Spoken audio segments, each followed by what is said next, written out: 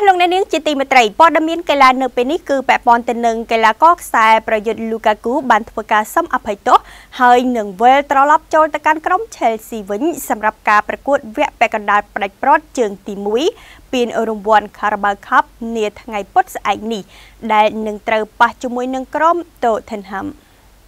កីឡាករខ្សែប្រយុទ្ធរ៉ូមេលូលូកាគូបានធ្វើការសុំអភ័យទោសហើយនឹងវិលត្រឡប់ចូលទៅកាន់ក្រុមតោក្យូ Chelsea វិញសម្រាប់ការប្រកួតវគ្គពាក់កណ្ដាលផ្ដាច់ព្រាត់ជើងទី1ពានរង្វាន់ League Cup នៅថ្ងៃពុធនេះ ដែលត្រូវប៉ះនឹងក្រុមខ្លាំង Tottenham Hotspur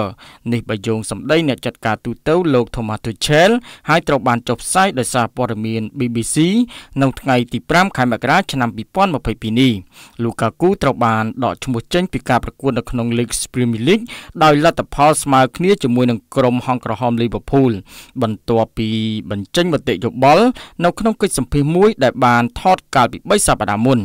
អ្នកទាំងពីរបានជួបគ្នានៅថ្ងៃច័ន្ទអំពីការវិលត្រឡប់មកវិញនៃខ្សែប្រយុទ្ធសញ្ជាតិ Basic ខាងលើជាមួយនឹងអ្នកចាត់ការទូទៅលោក Tuchel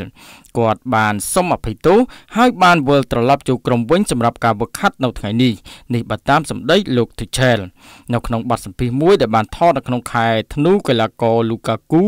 ដែលបានចុះកិច្ចសន្យាជាមួយនឹងក្លឹប Chelsea នៅក្នុងតម្លៃខ្លួនប្រមាណ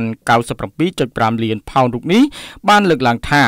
លោកមិនសប្បាយចិត្តនោះទេជាមួយនឹង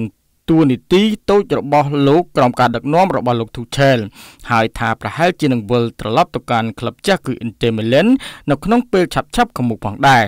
មុនការប្រកួតនាថ្ងៃអាទិត្យដែលត្រូវប៉ះក្រុម Liverpool លោក Tuchel បានលើកឡើងផងថាលោកបានដកឈ្មោះកីឡាករវ័យ28ឆ្នាំរូបនេះចេញពីក្រុមដើម្បីការការពារត្រៀមខ្លួនសម្រាប់ការប្រកួតនេះ លោក Tuchel បានលើកឡើងទៀតថា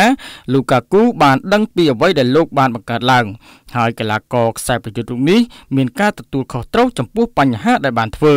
សូមបញ្ជាក់ថាកីឡាករ Lukaku បានសុទ្ធបញ្ចូលទីចំនួន7គ្រាប់ក្នុងការបង្ហាញខ្លួនចំនួន18ប្រកួតចាប់តាំងពីចូលរួមជាមួយនឹង Chelsea ក្រោយផ្លាស់មកពីក្លឹបម្ចាស់ពានរង្វាន់ជើងឯកអ៊ីតាលីគឺ Inter Milan កាលពីខែសីហាឆ្នាំមុន។